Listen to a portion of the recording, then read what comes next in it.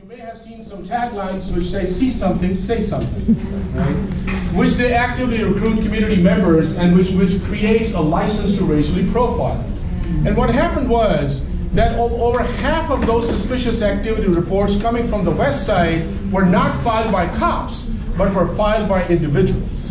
So when you look at the intersection of racial profiling, when you look at the, the intersection of race, and when you look at the intersection of filing, opening of these secret files, and who's calling whom as suspicious, we see an overwhelming evidence of racism and racial profiling. I think the challenge is for this community that whether they want to be known as a community of racists, or they want to be known as a community that is fighting back racism, that is joining up people and fighting back racism. So that is a challenge And this is all grounded in facts. This is all grounded in numbers. This is not something that we are making up. I have copies of the Inspector General's three years of auditing, and it's all racial profile. Thank you.